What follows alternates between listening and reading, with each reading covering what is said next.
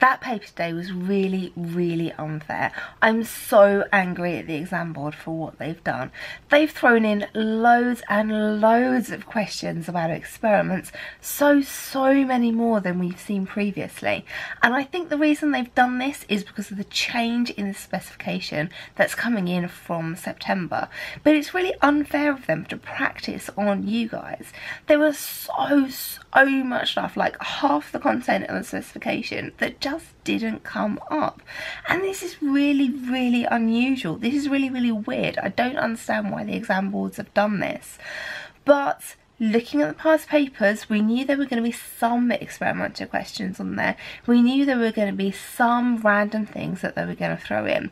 The just level of the amount, the stuff that they've put in this year does seem like really, really harsh. So maybe the grade, bound grade boundaries will be lower, maybe they won't be, but let's take this as kind of like a hint for the next set of exams and maybe there are going to be more experiments in there. So when we're thinking about experiments we need to be thinking about our intervals we need to be thinking about our ranges we need to be thinking about our variables. Can we do independent dependent and control variables? Can we do risk assessments? Can we do methods? Now I know how angry and upset you guys are at the moment because literally I got home from work and in the space that I spent tutoring, I had 500 different comments on YouTube to respond to. So I sense, I know how angry you are. And guys, I'm just as angry as well. I'm here, I'm on your side.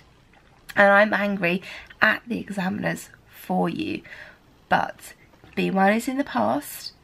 C1 is coming up on Thursday. So let's let's take the time that we would spend complaining and being upset about B1 and just put it off until the summer and instead spend that time concentrating on revising for C1 and revising for P1 which is coming up and of course all your other subjects which are really really important. Now like I said a second ago I've got like hundreds and hundreds of comments on YouTube to reply to and I'm replying to them as quickly as I possibly can.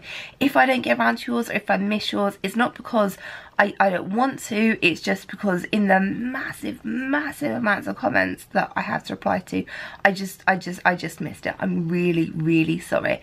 And to the people that are calling me nasty names on YouTube, well, I'm just doing my best trying to help you and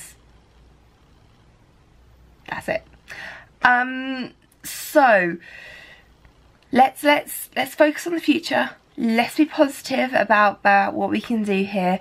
Um and just the examiners are meanies but then i told you the examiners were meanies a while ago. So let's move forward guys. Let's move forward with a positive attitude